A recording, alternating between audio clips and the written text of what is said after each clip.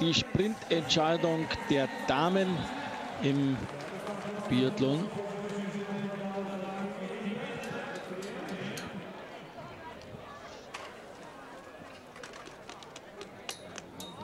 Agnès Chevalier aus Frankreich. Das ist Synevi Solendal, unbestritten.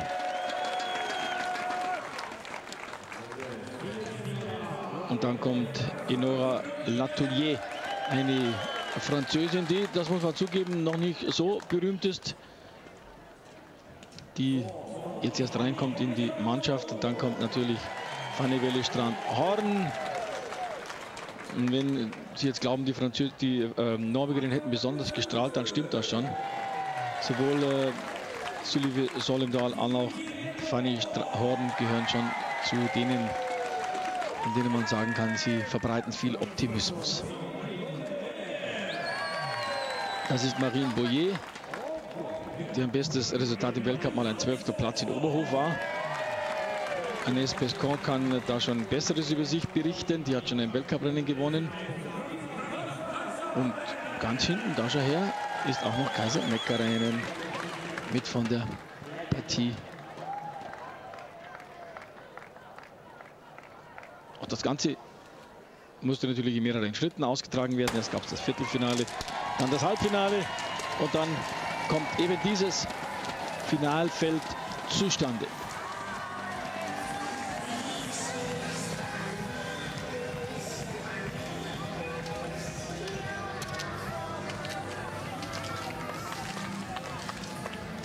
So, da gibt es schon die, die, ersten Materialermüdungserscheinungen, respektive natürlich beim Start kann da was in die Brücke gehen. Gerade auf Asphalt, auf diesen oder bei diesen Rennen gibt es, äh, werden viel mehr Stöcke benötigt, als das im Winter der Fall ist. Da passiert das ab und zu mal. Hier würde ich meinen pro Rennen 10 Stöcke, das ist vielleicht gar keine äh, Seltenheit. Bisschen Schwung ist überall.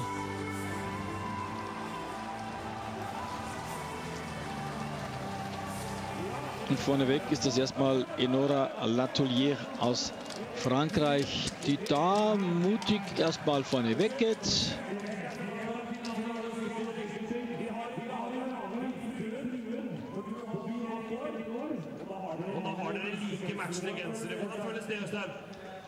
angrer nå jævlig på at jeg ga bort min genser til i går. Men jeg kler sikkert dame M sjøl, altså. Det går helt sikkert fint. Du kler det meste. Französische Mannschaft muss im Winter ja auf Marie-Laure Brunet verzichten. Sie hat äh, die Karriere beendet. Fast ein bisschen zu still, wie so viele andere auch.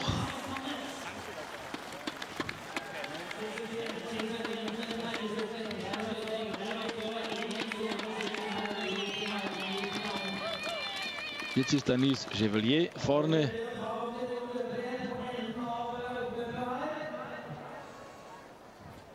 Und die von mir erwähnte Latourier gehört dem französischen B-Kader an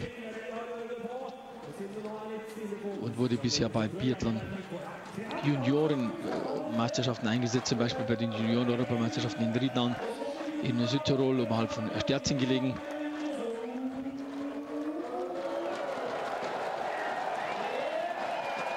Mal sehen, ob wir sie im Weltcup im nächsten Jahr überhaupt sehen werden. Kaiser Meckerin hat sich von der letzten Position erstmal auf die erste nach vorne gekämpft, geschoben, gelaufen.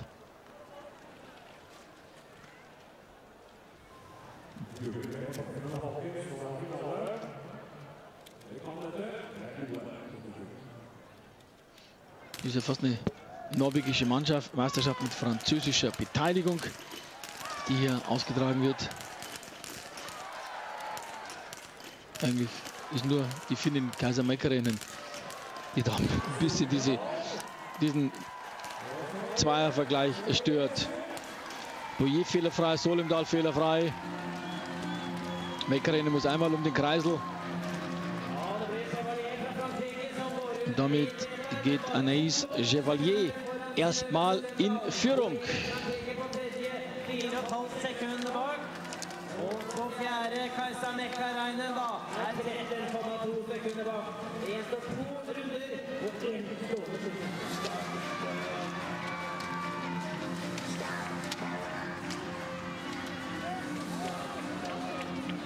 fast ein bisschen ein kleiner Generationswechsel, der in Frankreich hier äh, stattfindet mit Chevalier, mit äh, Latourrier.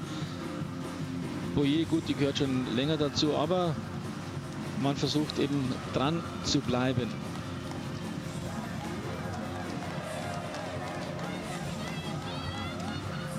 Auch Agnès Chevalier ist äh, Jahrgang 93, also da gibt es auch genug Möglichkeiten. Chevalier hat ihre Debüt im Weltcup in Hochfilzen gegeben, als sie 27. wurde im Sprint.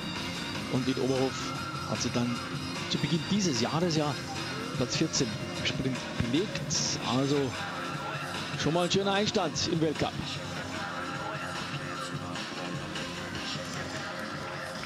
Kasamaika-Rennen auf der dritten Position. Im Augenblick haben wir die vorne liegenden Chevalier, dazu Synevi Solimdal,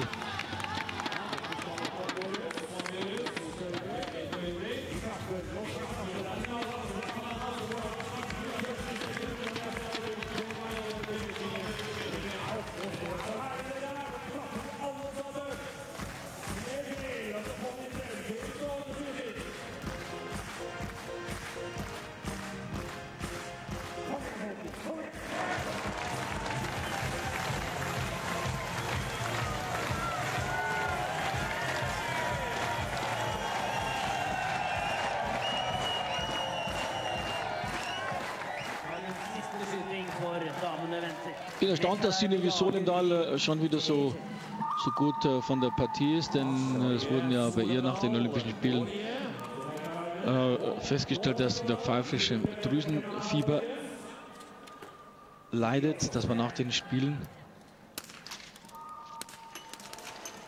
Aber jetzt ist das alles wieder, glaube ich, soweit in Ordnung.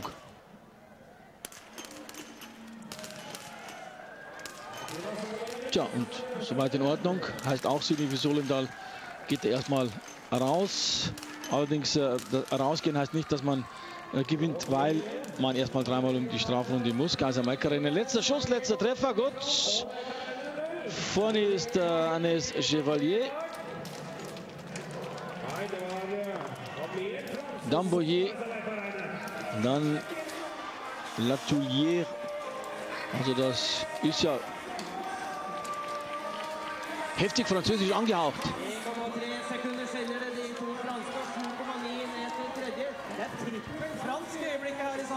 Ja, det er det. Våren Olsbø Solendal går ut omtrent eh, sammen der. Kanskje vi lagde på god stemning? Nei da, vi gjorde ikke det. Vi gjorde ikke det.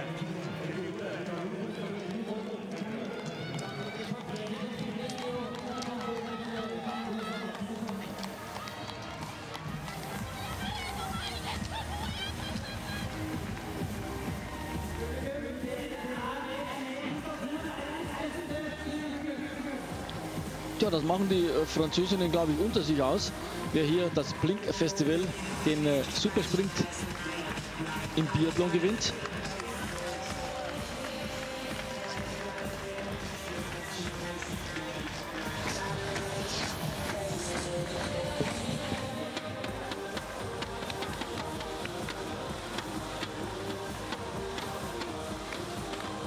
Man hat das auch im Winter mal versucht. Äh, Ich kann mich an den Testwettkampf in Oslo erinnern. Da gab es einen Teamsprint, dann gab es, äh, es gibt verschiedene Ansätze natürlich. Ich möchte auch äh, Anders Spesseberg, der norwegische Präsident des Internationalen Biathlon-Verbandes oder Internationalen Biathlon-Union, wie es richtigerweise heißt, immer wieder mal den einen oder anderen Wettkampf ausprobieren, aber es gibt nicht wenige Stimmen, die sagen, so wie es ist, ist gut. Jetzt erstmal im Augenblick. Und ich denke, äh, das ist auch gut so. Das ist noch richtig eng geworden. 0,1 Sekunden. Fräulein Bouillet vor Latoulière. Dann Agnès Chevalier und dann Kaiser Meckerinnen auf der vierten Position. Viva la France kann man da nur sagen. Drei Französinnen auf den ersten drei Plätzen. Da blinkt es richtig in Sandnes.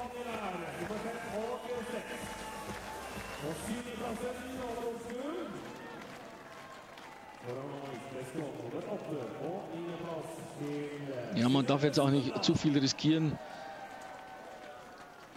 Denn wenn man hier stürzt, dann gibt es dann schon ein paar Hautabschürfungen. Äh,